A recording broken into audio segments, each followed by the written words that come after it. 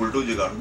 ये बहुत एक अलग किस्म की कॉमेडी होगी इसमें। मतलब मैंने, मैं 20 साल से कॉमेडी ही कर रहा हूँ। मतलब एफ़ आई आर के बाद जो एक मैंने, एक करेक्टर को, मामा जी के करेक्टर को इन्जॉय किया है, वो मतलब इसके बाद मैं ये दावे से कह सकता हूँ, ये करेक्टर और फ़िल्म बहुत अच्छी चलेगी। क्योंकि इसमें जितने भी मैंने सीन किए हैं, अभिषेक कृष्णा अभिषेक का जो एक्टर हीरो है इस फ़िल्म में वो इतना अच्छा है, जितना अच्छा एक्टर है, उतना अच्छा इंसान है वो। बहुत अपना हम्बल है।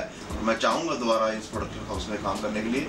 मैं thank you so much all technicians all direction department all production house thank you so much